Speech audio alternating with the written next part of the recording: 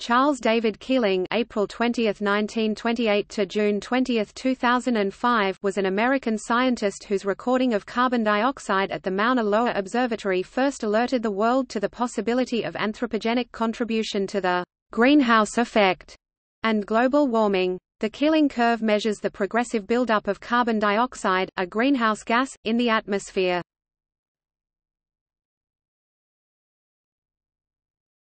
Topic: Early life and early career.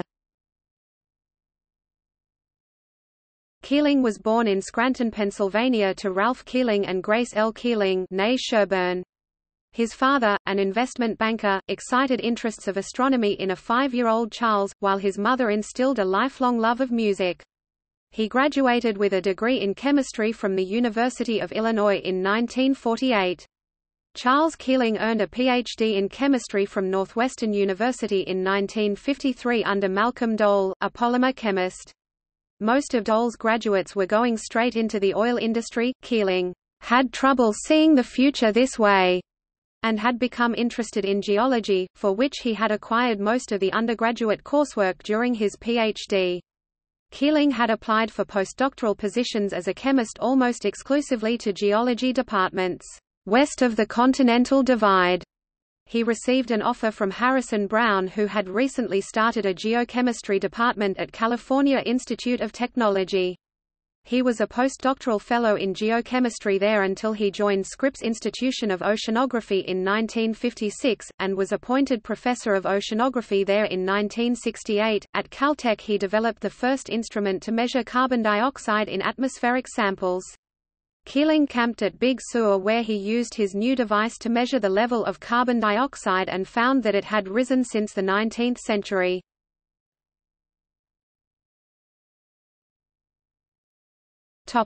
Work with Scripps Institution of Oceanography 1958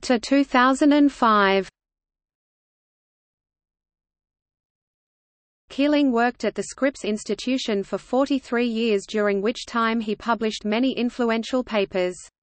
Roger Revelle, the director of Scripps Institution of Oceanography, based at La Jolla, California, persuaded Keeling to continue his work there. Revelle was also one of the founders of the International Geophysical Year (IGY) in 1957-58 and Keeling received IGY funding to establish a base on Mauna Loa in Hawaii, 2 miles (3000 meters) above sea level. Keeling started collecting carbon dioxide samples at the base in 1958. By 1960, he had established that there are strong seasonal variations in carbon dioxide levels with peak levels reached in the late Northern Hemisphere winter.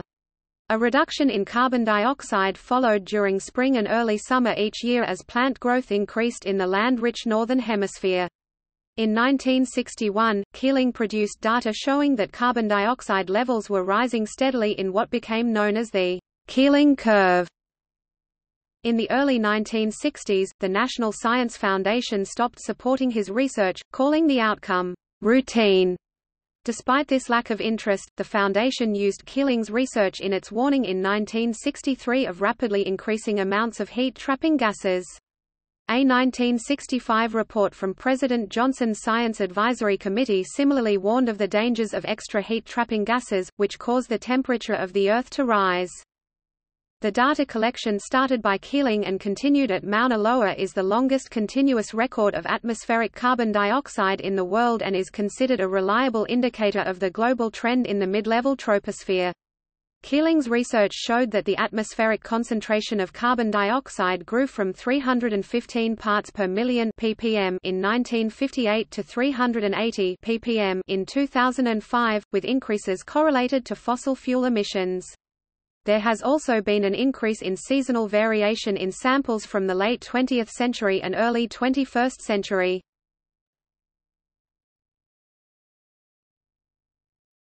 Topic: Personal life. Keeling was an enthusiastic outdoorsman who made many hiking and camping trips to the western mountains, particularly the Cascade Mountains of Washington state. He was an active member of the Wilderness Society for much of his life. Keeling married Louise Barthold in 1955. They had five children, one of whom Ralph Keeling followed in his father's footsteps and is currently a climate scientist at Scripps Institution of Oceanography. Charles Keeling was also an accomplished classical pianist who almost chose a career in music. Keeling was a founding director of the University of California San Diego Madrigal Singers. He was also general chairman of the Citizens Committee which drafted the Del Mar General Plan or Community Plan in 1975, he died of a heart attack in 2005, aged 77.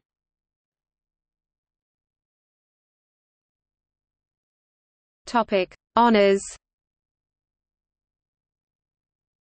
Second Half-Century Award of the American Meteorological Society, 1981.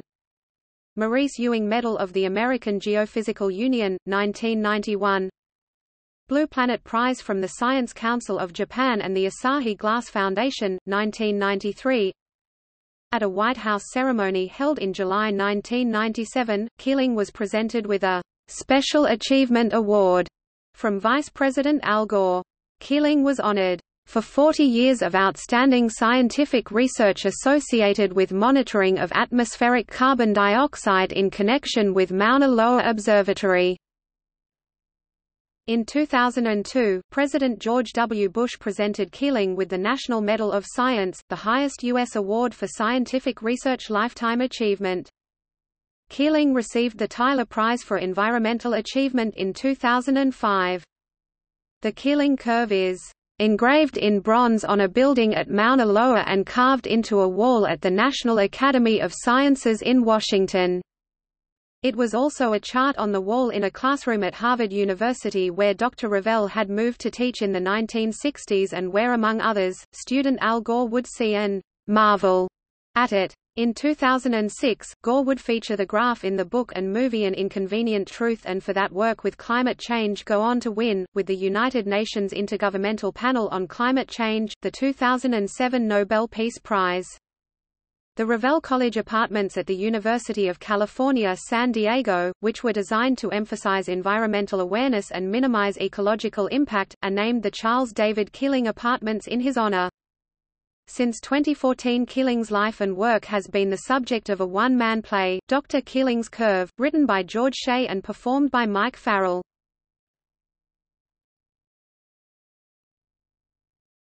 Topic: Memberships, fellowships.